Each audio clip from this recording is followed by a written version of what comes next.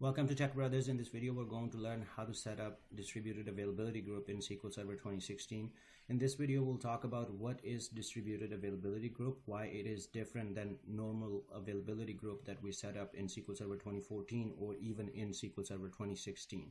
And the prerequisites are the same as setting up availability group with automatic seeding. That's the requirement of distributed availability group. If you don't know what automatic uh, availability group with automatic seeding is, please watch my previous video. I have uh, discussed all the prerequisites, pros and cons of setting up AG with automatic uh, seeding. And then uh, we will uh, go through the demo. We'll set up a distributed availability group step by step. I have prepared a document which we will publish on our website as well. This is the document I have prepared uh, to discuss some of the steps before we really get into our real demo. Uh, let's talk about uh, the difference between distributed availability group and normal availability group.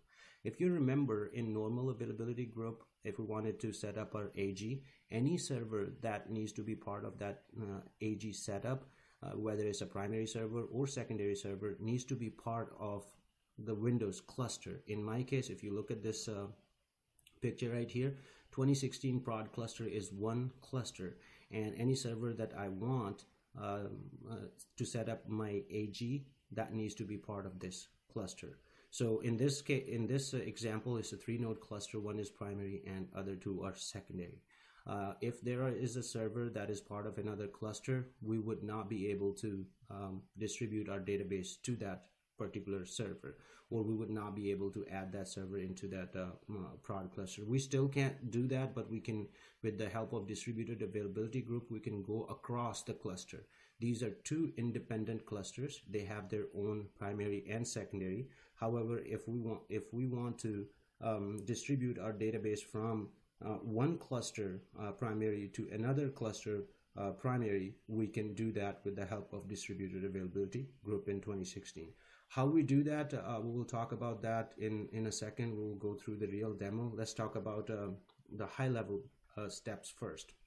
So our first step is create availability group on both cluster with auto seeding, with the seeding automatic what automatic seeding means that you don't have to take the backup and initialize your uh, uh availability group. SQL Server will do that for you, and it is it is the requirement of distributed availability uh, group as well. Uh, also, the requirement is that once you set up one AG right here, in my case, auto seed AG1 is one group, and all the secondary uh, uh, servers right here, you need to manually join these servers uh, to that particular availability group. So that is the requirement and the permission needs to be that uh, that AG group needs to have create database permission. Otherwise, it will not be able to join uh, secondary uh, servers in one cluster. Same thing we need to do on the second cluster for our distributed availability group. In my case, the second cluster is 2016 cluster and this is my secondary cluster. I call it secondary and this is my primary cluster. Right now we're in at the stage of preparing cluster for distributed availability groups so in uh, second cluster autoseed ag2 is another group that we will create with uh, automatic seeding. It has its own primary and secondary. Once that's done we will create the listener uh, for ag1 on one cluster and then we'll create another listener um, on um, uh, second cluster right here for uh, auto AG2 group right here. After that, we'll, this is the third step right here.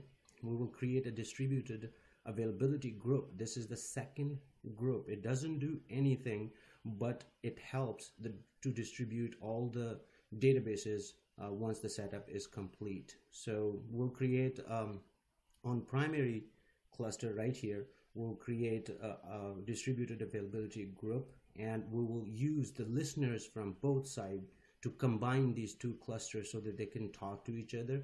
So our database will be distributed among across the two clusters. So distributed availability group is what basically uh, functions to do that. That that's what it helps to do um, all the synchronization and all that once we're done with the setting up everything, we should test our synchronization of databases across both cluster. we'll create a cluster uh, database here app we'll put it uh, part of autoseed ag1 group and we will see that if it flows across the secondaries of this cluster and secondaries of this cluster. And then we will test failover. So uh, let's move on how we do that. This these are the detail and I'll just copy it paste this uh, um, T-SQL right here. Uh, there is no uh, graphic user interface to accomplish this. I mean to create availability group with auto seeding right now. You have to use uh, uh, T-SQL to create that. So our first step as I mentioned create availability group with the automatic seeding on primary replica for primary cluster.